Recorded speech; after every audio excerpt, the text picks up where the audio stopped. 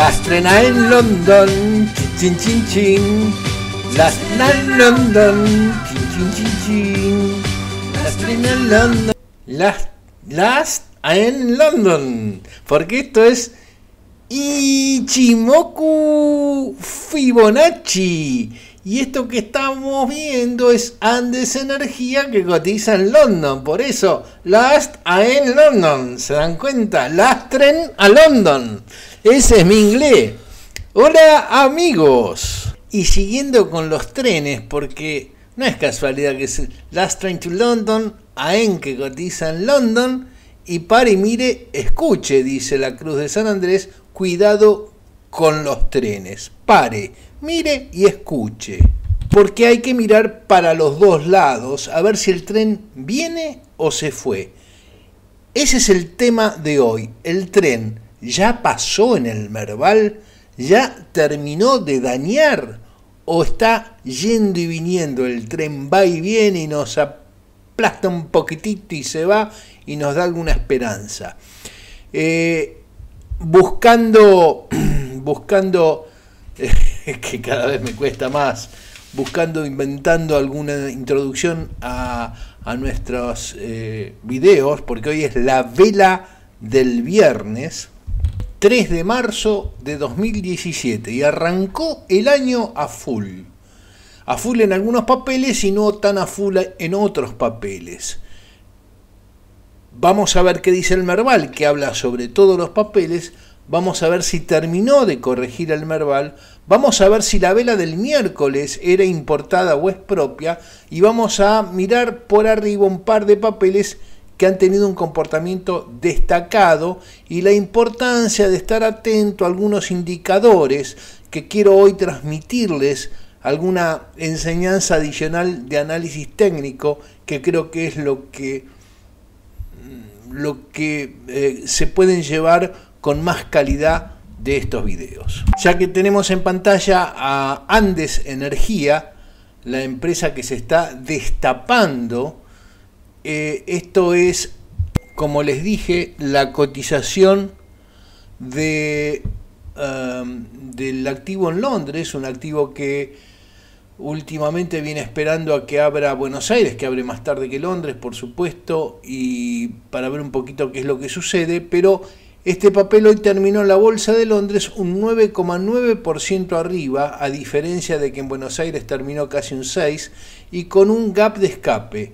Con un gap de escape en una zona interesante, no es un gap de escape que después viene y nos arma los quilombetes que tenemos con Vale, con Petrobras, con que hombro cabeza hombro o no sé qué. Este es un papel que está muy bullish. Miren ustedes, entrando en una linda zona de sobrecompra en la cual ya estuvo de visita hace muy poquito, ese día que subió casi hasta, ahora vamos a la, a la nacional, y saliendo de esta zona, esta caja que está aquí marcada, que es una zona, una caja de Fibonacci, ¿eh? una, una, una, zona de retrocesos que lo superó eh, tranquilamente, obedece, a grosso modo, les digo para que sepan qué es lo que está acá dibujado, esta caja obedece a esta pata bajista. ¿Ok? Esta pata bajista, cuando trazamos los retrocesos de este swing bajista, entonces tenemos que eh, el papel se, se consolida y acá es donde encuentra la posible resistencia entre este punto y este punto. Lo sorteó, no pudo y hoy, hoy lo volvió a sortear con gap de escape. Bueno, y recuerdan que hablamos de Andes Energía, la vela, creo que fue la del miércoles pasado, donde les hice un repaso del análisis técnico del desarrollo, de la evolución del precio de este papel, papel muy pedorrito hasta ahora, con, con estas este, situaciones convulsivas, espasmódicas, que, que subían 5.500% en media hora y después se caía. Esto fue en el 2014 pero ahora eh, el papel eh, consolidó, consolidó bien. No importa, ustedes van a decir, este la tiene, tiene posición hasta... Tengo posición y me la voy a quedar porque es una apuesta vaca muerta que hice ahí con un follower. Yo me quedo con un pedazo de de, vaca muerta y le apuesto, aunque no crea en el proyecto este, en el proyecto local, en IPF, en los funcionarios y en esta... Pero eh, Vaca Muerta tiene un valor este, potencial, intrínseco, así que que subo que baje me da absolutamente lo mismo porque las metí en un cajón, como decía aquel este, broker inicial que yo tenía, que me ensarté, después abrí el cajón, tenía un olor a podrido. Pero bueno, esta la tiro en un cajón porque es un papel muy barato y porque ya estuvo a 14 mangos y yo entré a menos de 6 mangos, a bastante menos de 6 mangos y tengo mucha, digamos, no tengo una gran posición y tengo mucho tiempo para esperarlo. Soy una persona mucho más joven, mucho más joven que estos fósiles este, yacimientos o yacimientos de, de fósiles petrolíferos. Bueno, y les quería señalar simplemente esto. Vamos a afinar la puntería y el lápiz. El papel estuvo en 14. Entonces nuestro trade estaría apuntando a que si hoy vale 6,22, prontamente, prontamente son unos meses, ¿no? Esté en 14. Pero estas cosas te da sorpresas, sorpresas te da la vida.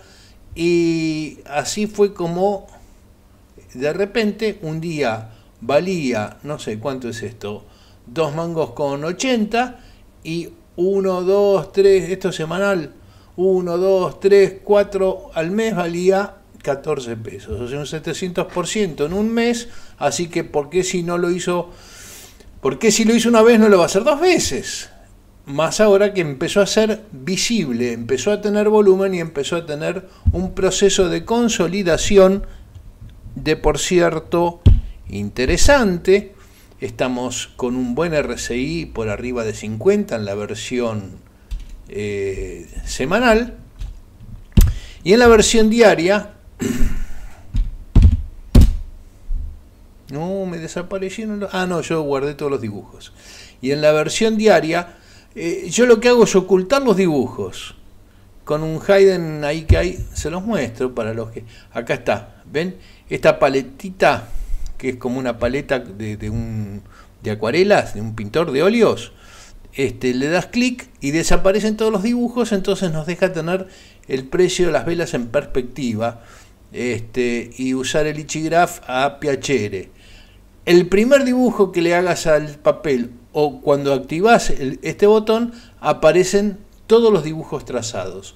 Pero está muy bueno el ejercicio porque te permite tener solo los indicadores, es decir, las medias móviles y los, los, este, las medias móviles y los indicadores de abajo, los estudios de el, MACD o el, Ichimoku o qué sé yo qué, pero lo que son trazados de dibujo están todos escondidos. Entonces te permite ajustar el ojo al papel y darte cuenta dónde estás. Es un screener visual, si se quiere, y lo importante que yo destaco es que yo les, disculpen que, me vaya en esto, pero ustedes ya sé, este, te, está diciendo que el papel estuvo a un precio, estuvo a otro, en realidad yo tendría que, tendría que haber,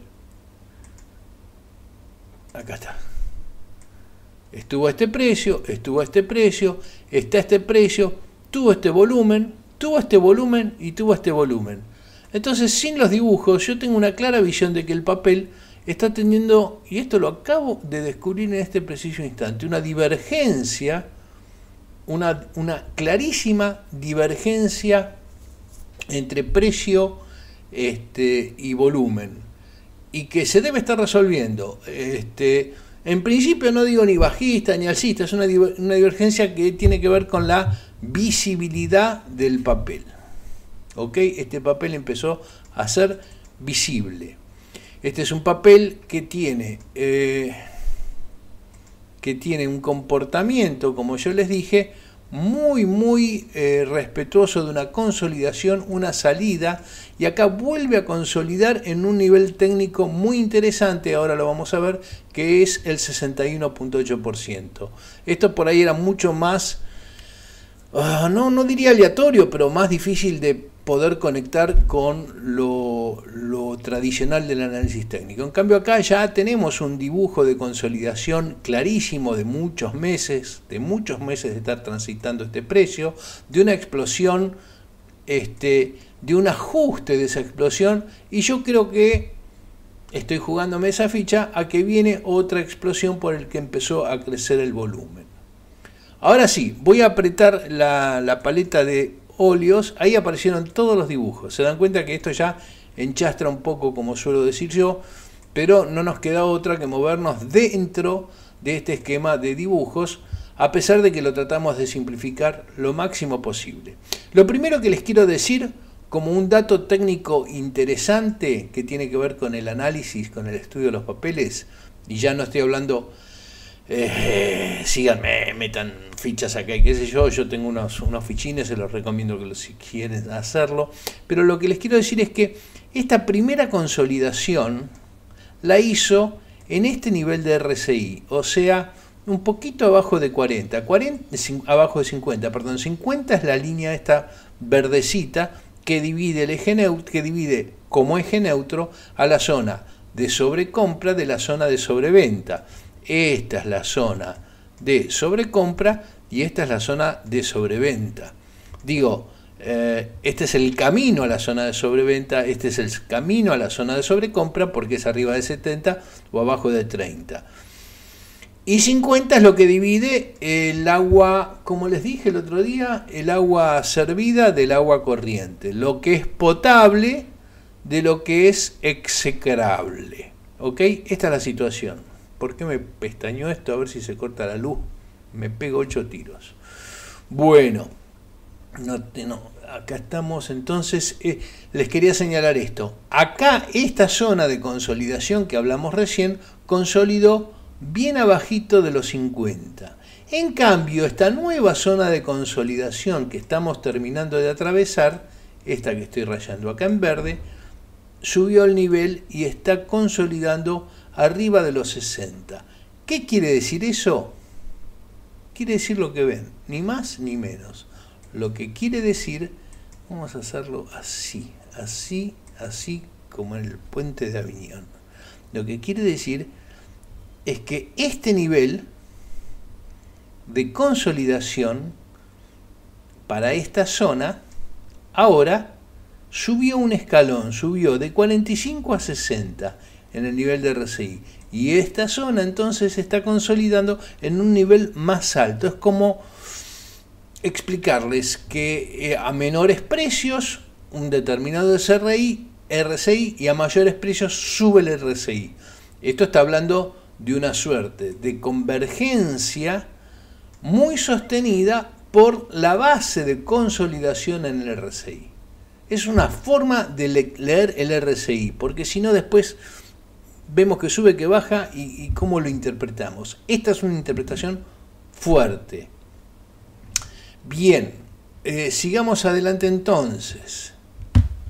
Bueno, acá ven entonces el mismo dibujo que teníamos el día miércoles pasado, en la vela del miércoles, que creo que fue, con la diferencia que esto es hoy, esto es ayer, el miércoles hizo un buen volumen y dejó un doji.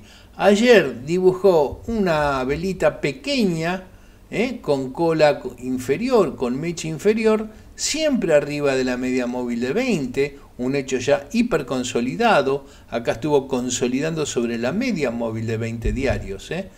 Y este, bueno, después de haber hecho este pico, yo les conté que vino acá hasta acá, que es el 61.8, trató de pasar esta caja es la misma que vimos en el line de Londres. O sea, la baja, el swing bajista, tiene esta resistencia entre el 61 y el, entre el 68 y el 50 que todavía no la pudo pasar y constituye esto que tuiteé que es este famoso 630. 630 es mortal, aparte de que esta cajita verde me está hablando de unas convergencias de Fibonacci. 630 es la cara superior, el borde superior de esta caja de resistencia consecuencia de este swing bajista. Swing alcista, swing bajista al 61.8, caja, consolidación, siempre arriba de la media móvil de 20 y con la fortaleza que me da que tenemos una nueva base de RSI, que mientras no se perfore, mientras no cruce esta base, estamos en terreno súper consolidado, súper amigo, o sea, podemos estar tranquilos. Pero el gran debate va a ser 630. Si no supera los 630, puede venir para abajo, puede venir a testear nuevamente el 61.8, puede destruirse, ¿por qué no? Pero me parece que este, no importa, yo no sé qué va a pasar, yo sé qué tengo que hacer si se perfora esta base del RSI o si se perfora este 61.8. Por ahora indicaría que no, pero ustedes saben que esto es todo posible pero me gusta cómo está desarrollándose este papel, me gusta su volumen que está adquiriendo, me gusta su visibilidad y este, le tengo unas fichas apostadas. Y aparte es de estos papeles, como hoy tuiteé, que en el panel general siempre hay papelitos que te salvan la sonrisa del día. Hoy era un día o que te lo salvaban los bancos, después de venir una performance súper bajista, o te lo salvaba algún papel pedorrero como inversor a juramento o como Andes Energía. Llegamos al Merval.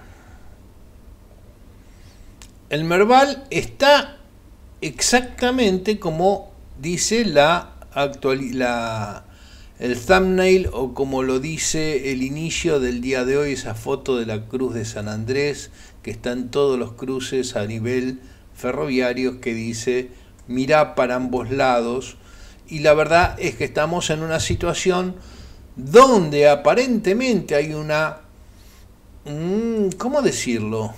Donde aparentemente hay algo así como una tranquilización de la baja que a mí entender no fue lo suficiente, no fue poca, tenemos tres importantes velas bajistas y una cuarta después de o un quinto día bajista después de un cuarto alcista.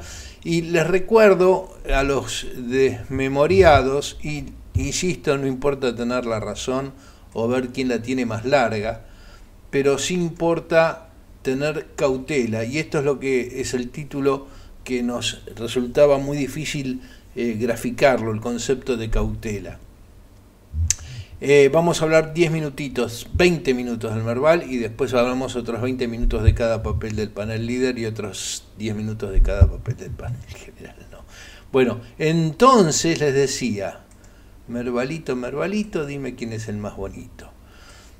Tuvimos nuestra, nuestro momento de gloria, nuestro momento de inicio de la debilidad, la debilidad, el ocaso, la falsa euforia y alegría donde todos vieron que PBR se daba vuelta, ¿se acuerdan? Que ese día subió, no sé cuánto subió, un 4% eh, a PBR, o no, subió un poco, subió un, no sé, dos y pico, un, eh, y después se hizo percha mal ayer. Y hoy terminó empatada, pero lo cierto es que tanto PBR como Vale no pueden salir de la zona de 9.97, 10.20, y así están fluctuando después de haber tenido una vertiginosísima caída. Por razones de contratación con premium no puedo, no puedo abrir acá el juego, pero ya les dije más o menos las pautas. By the way, a propósito, way diría el mexicano, by the way, escucha, este sale este fin de semana, me di vuelta dos minutos, tengo 45 notificaciones en el Twitter. Decía que sale eh, este fin de semana, el 19 había salido la cartera premium completa, que son estos papeles que están acá. Este fin de semana, el domingo, sale la actualización para estos 10 papeles. Vale APBR Mirgor, Telecom, Molinos, Galicia, Consultatio, Transener, Cresud y Tenaris. La verdad es que estoy re contento de que sea este fin de semana el que sale. Porque, no porque el tiempo, qué sé yo, mañana no voy a poder, tengo un asado, pero creo que el, el domingo vamos a sacar todo rapidito. Son videitos de 7 minutos aproximadamente, donde actualizamos lo dicho el 19 de diciembre. Y me pone contento porque es, eh, es el momento ideal para actualizar la, la cartera. Porque shit happens, ocurrieron cosas, movieron mucho los precios, mucho, mucho, desde el 19 de diciembre a hoy hay cambios muy importantes, sobre todo eh, los papeles que venían del subsuelo, como molinos, hoy tuvieron una recompensa. Los papeles que vieron la gloria, como Telecom, después cayeron. El Galicia hoy pareció, pareció, con un 4 y pico por ciento, que detuvo su baja. No estoy tan seguro. Y Mirgor hoy también respiró un poquito. Hay como una suerte de mancomunión entre algunos papeles que vienen del tercer subsuelo y hoy pasaron al segundo subsuelo. Y papeles que estuvieron en la terraza, como Telecom, este, que ahora empezaron a decaer. Entonces está bueno porque me divierte que este, a 15 días de haber largado la cartera premium, esta venga con novedades, si no se hace medio aburrido. Para acceder a la cartera premium tenés que suscribirte este, en el servicio premium a 1, 4, 10 videos, participas del Twitter reservado, protegido se dice. Y, y nada, este, están los beneficios y qué sé yo que ahí tenemos. Y ya activamos el radar de alerta, ya van a recibir los mails, pero ya estamos eh, si entran a la página van a ver el radar de alertas. Ahí está, el alertas del radar. ¿eh? Autopistas del Sol. Opa, se me filtró el, WhatsApp, ahí no pasa nada y ahora viene Junior y me caga pedos. Bueno, ya cerré todas las ventanas comprometidas y las páginas porno que este, uso a la tarde, a la noche cambio de, de medio. Bueno, este Volvamos a lo nuestro. Ah, y en cartera premium, aparte de las actualizaciones, hoy sube la segunda parte de la explicación del RCI con el tema de las divergencias. Bueno, volvemos acá entonces, amigos. Este, eh, estoy en un cierto clima de cautela o incredulidad. Hoy fue un día muy interesante por el impacto que tuvo globalmente los bancos. Terminamos con un Merval de 1,57 arriba eh, y terminamos con 261 millones de pesos. Nada. Nada es nada. Nada es cautela. O sea, muy abrieron los monederos, no las billeteras y dijeron, bueno, a este precio compro muy poquito, exceptuando en algunos papeles que algunos dijeron, en estos precios no vendo más más ni un solo papel. Es el caso, por ejemplo, en mi interpretación de celulosa, que todo lo que se vendió abajo de 15 fue a regañadientes porque demanda había, pero con cautela, la demanda de monedero. Y este, el otro papel que tuvo muy este, algunos signos de desperezamiento, atendeme esa, desperezamiento fue Mirgor, que fue muy castigada, y Molinos, tremendamente castigada. Este, celulosa y Molinos fueron fake breakouts que anunciamos eh, anunciamos correctamente, pero no funcionaron eh, y hubo que salir de urgencia. Algunas posiciones se han mantenido en lo personal, porque creo que son papeles que están muy baratos. Yo inicié posiciones chicas con el afán de que si bajaba, cuando notase signos de recuperación, como son los que se van a notar la semana que viene, si esta tendencia continúa, se va a eh, incrementar, voy a incrementar mi posición, porque creo que tanto molinos como celulosa están muy accesibles para lo que pueden ser. Es este jueguito que yo les decía, AENA 14, o sea, todos los papeles que estuvieron a cierto valor y hoy están muy abajo, nos permiten un determinado trade de recuperar tendencia en valores máximos. Bueno, esto se convirtió en un programa de radio porque no les dejé de graficar.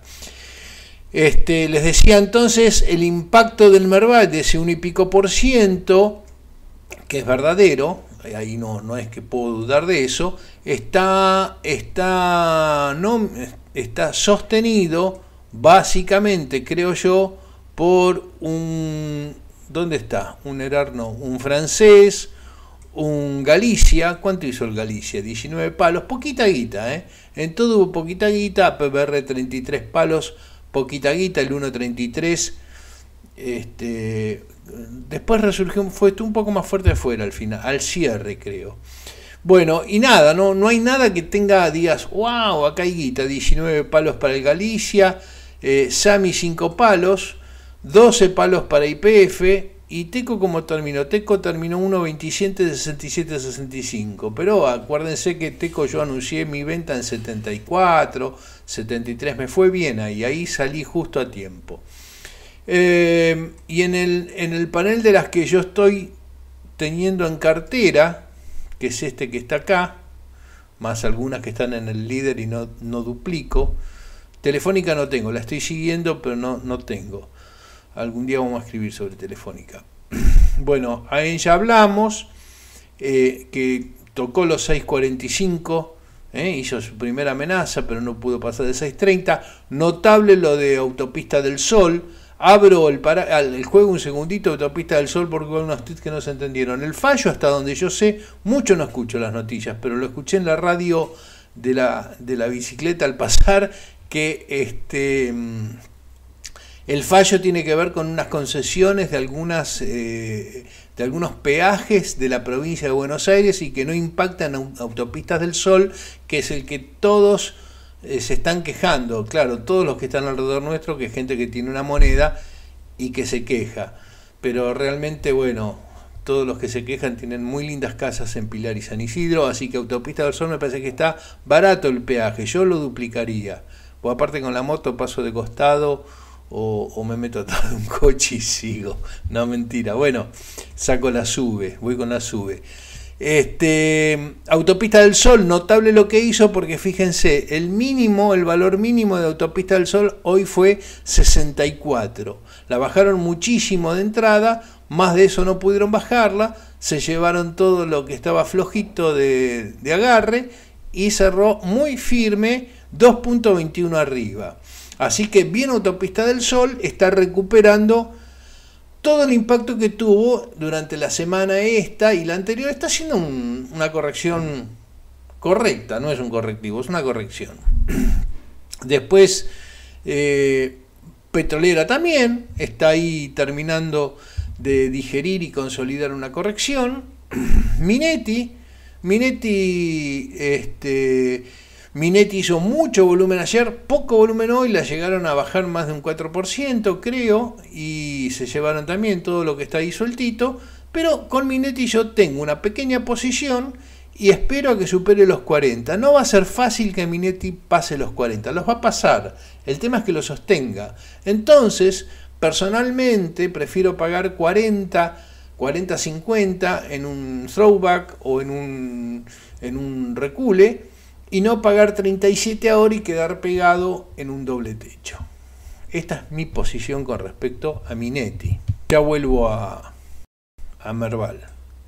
Pero bueno, eh, hacemos un popurrí, hoy es viernes, hay tiempo. Miren, este es el volumen de ayer, pero quedó apuntando para abajo el RSI, eso no me gusta. Este, si bien hay que comprar en rojo y vender en verde, en ese mismo video dije que se vende en verde se, en azul, ¿qué hace chabón? Se vende en verde y está buena, está buena Minetti porque eh, está consolidando, consolidó todo esto que es una bocha. Yo no estoy dibujando. Estoy como Baradel. Bueno, ahí estamos. Este, consolidó todo esto que es una bocha y esta vez va a arrancar, si sí, puede perforar, desde arriba, desde bien cerquita de la media móvil de 20.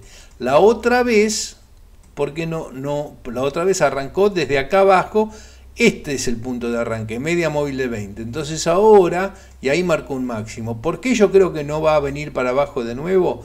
Porque la media móvil de 20 se la va a rebancar. ¿Ok? Este, la otra vez el arranque fue desde acá abajo, así que ahora ves el arranque puede llegar a ser este y ahí tendríamos un punto muy interesante, 45 mangos. Entonces, digo yo, permítanme, esta es mi, mi eh, cuando dicen, eh, está barata, que yo que sé cuánto es verdad, mi neti acá está muy barata, pero acá estaba más cara, pero es más segura. Acá puede venir acá y caerse, no, ahí no, puede caerse acá. Acá hay una línea de, de soporte de tendencia, que es esta de acá. Entonces puede estar haciendo esto todavía y puede demorar mucho. Puede hacer otro amague acá abajo, ¿por qué no? O puede salir pum para arriba. Todo indica que va a salir.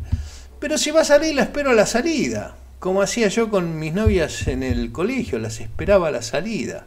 ¿Para qué la voy a esperar a la entrada? Eh, está bueno ese concepto, esperar a la salida. Si la querés linda, esperar a la salida. Entonces, párate acá, espera que amague, espera que vuelva, espera que retoque, compra baratito acá, a ver si sale. Y si no sale, no compres o, o, o, entrégalas rápidamente. Pero prefiero para eso estar en esta zona que es mucho más eh, más segura. Bueno, a ver si avanzamos. Merval, diez, decimoséptima vez que lo, lo agarro. Entonces, el Merval, ¿qué tenemos en el Merval? En el Merval tenemos, eh, en principio, yo quise borrar esto y no me lo borró, que era esto. Esta no, esta. 1.27.2, borramos, listo. El Merval, eh, pirín pin permítanme, que estoy un poquito distraído. Bueno, estábamos hablando de esta, de esta de este rebote que tuvo el día miércoles, que yo dije era la vela importada por los 21.000 del Spiguay. La paliza de Petrobras y del Vale, bueno, acá Vale no impacta tanto, la, la gran paliza de Petrobras de ayer y hoy este rebote que si bien superó la mitad y más de la vela de ayer no superó el 1.0, la APP 1.0, o sea, la corrección que significa trasladar. ¿Dónde estoy? Ah, Truxi, esta, este movimiento contratendencial. Pero ahora no lo ubico. A ver un segundo. Disculpen que sea reiterativo, pero entiendo que hay mucha gente que ve por primera vez este video, entonces mi obligación es explicarles a ellos y no a ustedes que ya lo vieron el miércoles, que yo lo que hago es agarrar este movimiento de simetría, replicarlo desde acá arriba, considerando que se va a dar igual, y considerar que el 1.0, que sería este punto, sería el, más factible de rebote para este papel. Bueno, eh, ahí estamos. Eh, me, me, disculpo porque no me refería a ese, me refería a este, acá lo enganché. Pasa que yo pongo las líneas de trazado Fibonacci, me parecía, porque el otro era muy grosero. Era el que abarcaba todo este ancho de, del canal, de la cuña, del canal acuñado. Este, no, me estaba refiriendo, vamos de nuevo, a este tramo. Este tramo lo replico desde este punto alto y me está dando que el APP 1.0 es este. Pero el Merval siguió bajando, recupera y sigue bajando y recupera y se clavó ahí. O sea, no está confirmado que este punto haya sido superado. Esa es mi primer consideración. La segunda consideración es que acá hay un rectángulo de convergencias de Fibonacci que estaría eventualmente actuando como una zona de soporte. Si es que fuese así, estaríamos ya en, en, condiciones perdón, de decir que estamos próximos a la finalización de la corrección general. Hice, hice una pausa porque puse cara de... Este, pero creo que el punto eh, más destacable de esta corrección, pues siempre hay que ir buscando a ver dónde está la línea que frenó al, movimiento, dónde está el, el, obstáculo o soporte que frenó la caída y estaría eh, yo estaría considerando que un punto razonable es este que estoy señalando acá.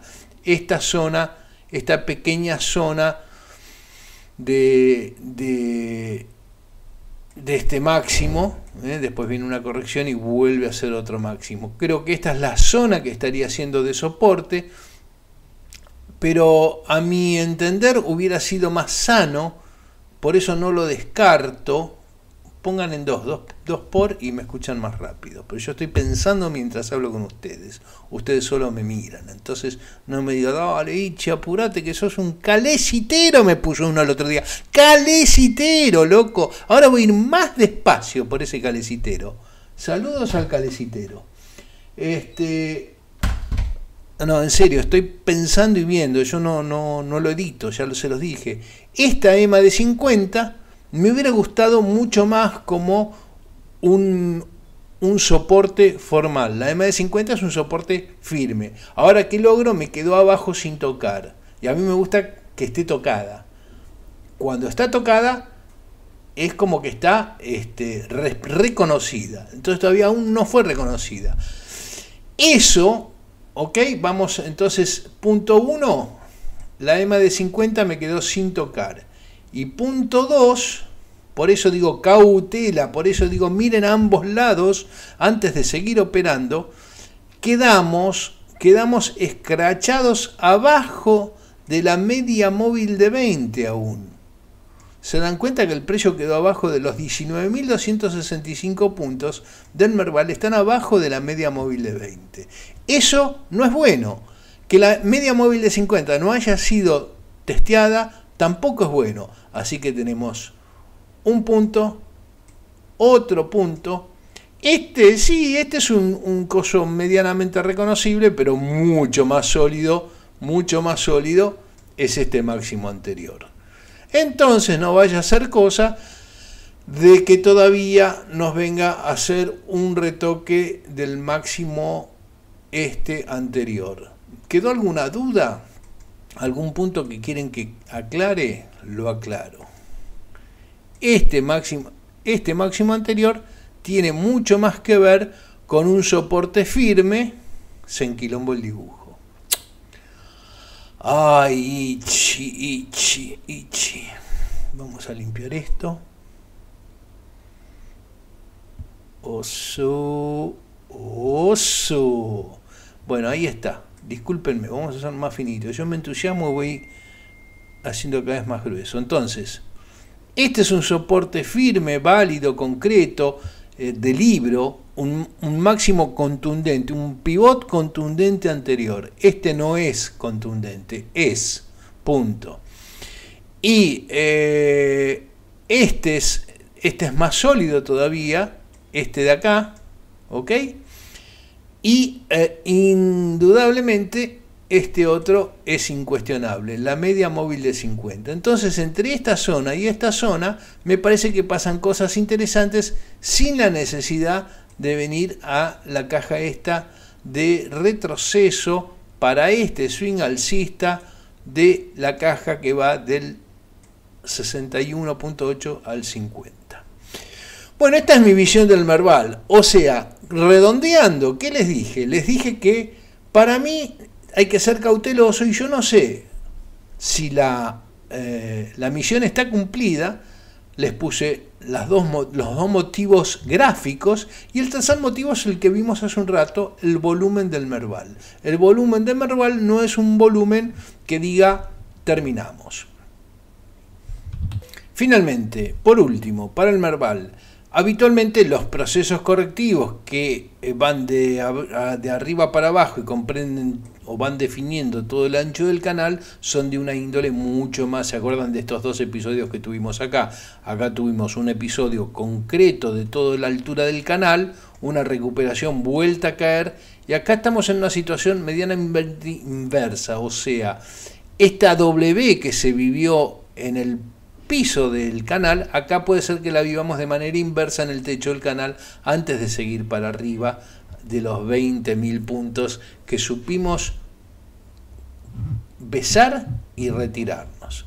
Entonces, este, les, les, repaso eh, como detalles fundamental a tener en cuenta, les repaso, vemos, sacamos esto y sabemos entonces que estamos por abajo de eh, la media móvil de 20.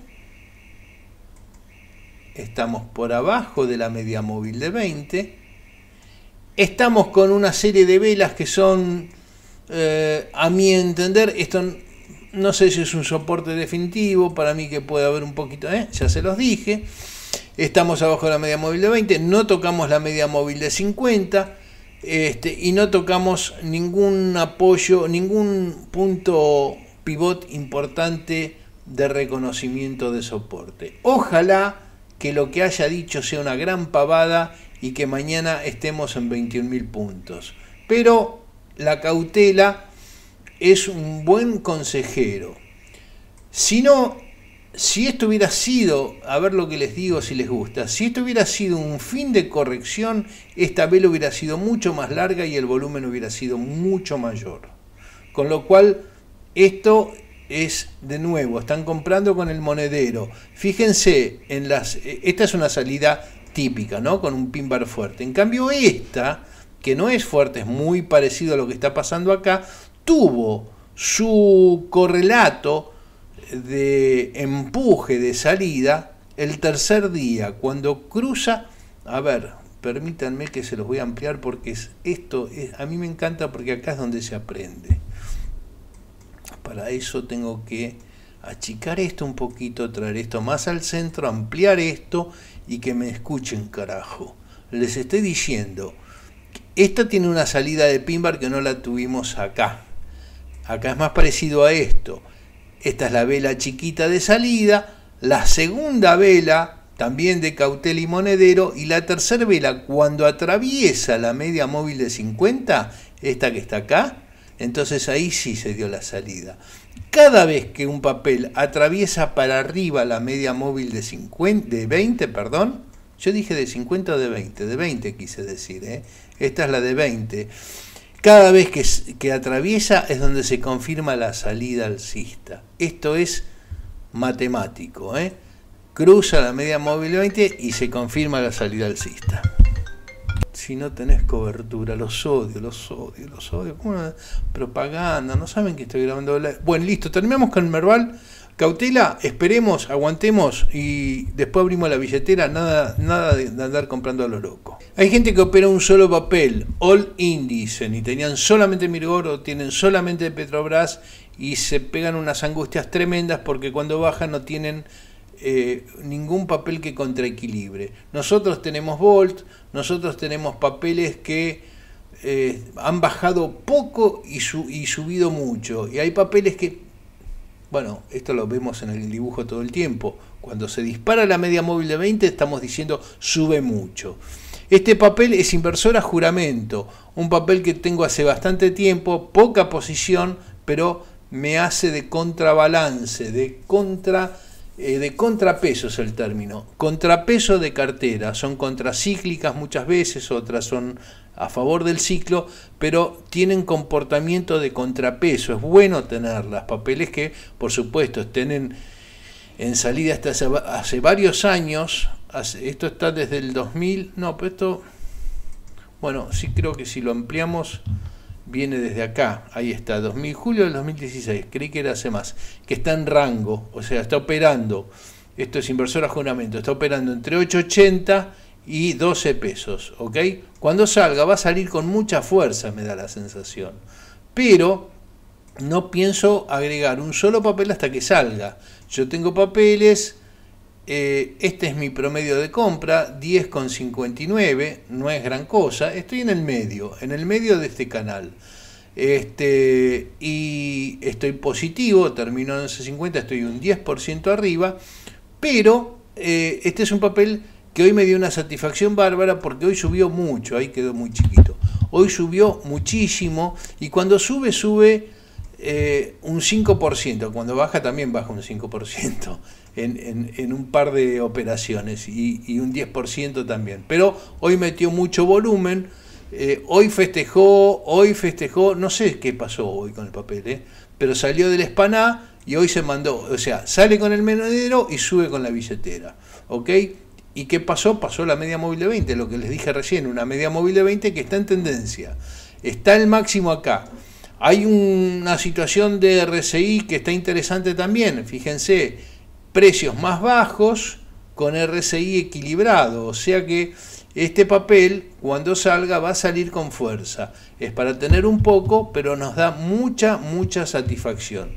Le saco el Ichimoku para que vean este, una curva a largo plazo, weekly, de este papel, cómo está súper tendencioso.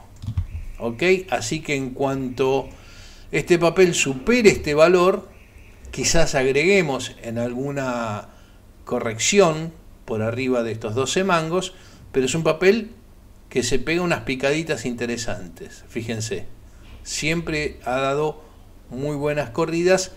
En muy pocos días es muy difícil conseguir cartera.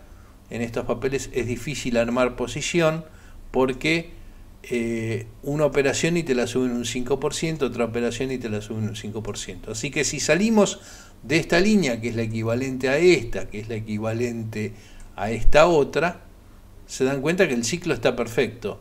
Entonces, este, le vamos a hacer, este es el más largo, fíjense, este es el que más subió y bajó, ¿eh? pues está esta, vuelta acá, eh, acá fue a medio camino. Así que Inversora Juramento está con muy buenas perspectivas y con muy interesante eh, comportamiento del RSI, tiene mucho upside para crecer. Amigos, vimos... Em, em, no sé si me pueden dar más de un like por, por video, no creo. Llamen una tía o un amigo y dice, che, dale like al chabón este que hoy presentó varios papeles y, y se la jugó y se hizo una velita como de no sé cuánto tiempo. 45 minutos nos sostuvo la vela. Así que eh, por favor, tres likes por cada uno que haya visto este video. Un like lo ponen ustedes, otro like se loguean con otra cuenta, le mandan like y otro like a la tía. Y si la tía este, me hace un comentario, también será bienvenido. Desde luego ustedes, eso lo descuento. Cualquier comentario me lo dejan acá eh, el like se los pedí. ¿Y qué más me pidió Junior que les diga? Ah, suscríbanse, suscríbanse y rebelión fiscal para el que se suscribe va a tener descuento en el impuesto a las ganancias. Créanmelo, los suscriptores del canal de Ichimoku Fibonacci tributan menos. Y eso es posta. Chicos, gracias. Vimos Inversora Juramento, vimos Andes Energía. Me faltó ver Celusal. Vimos algo de Celusal porque creo que Junior armó. ¿Qué dice? Celu, sí. La miramos el domingo a la noche, Celu, pero Celu es la que. La, la Celu y, Molinos son las que están saliendo del tercer subsuelo para entrar al segundo subsuelo para salir hacia la terraza. Entonces se trata de encontrar los papeles que van del segundo subsuelo hacia la terraza y dejar los que van de la terraza al segundo subsuelo. Les explico bolsa como si fuesen palotes. Amigos, Gracias, like y suscríbanse. Buen fin de. Bye.